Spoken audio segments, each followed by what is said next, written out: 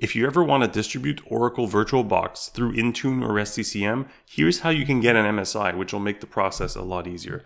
Pop open a browser. Let's go to the VirtualBox website.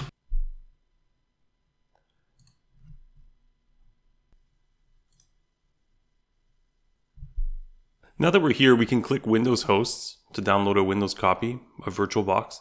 And notice that they don't ask you anything. They just download it immediately and it is not an MSI, it's an EXE. Now, here's the trick.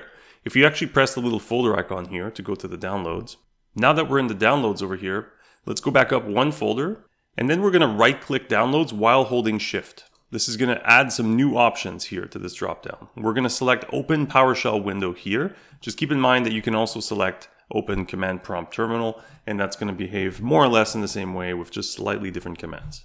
All right, so here we are. We're going to do a quick DIR to see where we are. There's our EXE. So what I'm about to show you is that you could start typing virtual, for example, press tab, and it auto-completes like this. But instead of just running it, we're going to add a flag here. We're going to say extract. And then we're going to press enter. So that finishes, all good and this little pop-up appears. So now it says that the files were extracted to, and it gives you a location, and that location happens to be app data, local, and then temp.